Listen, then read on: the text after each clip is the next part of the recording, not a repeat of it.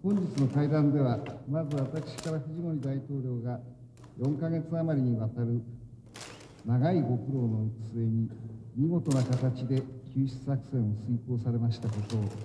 高く評価するとともに、大統領に対し、心からの謝意を表明しました。に向けて多数の方々が現れた努力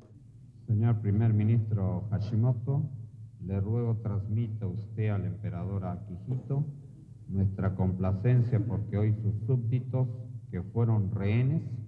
se encuentren nuevamente con su familia y en buen estado de salud. Esto nos llena de regocijo. El gobierno y pueblo del Perú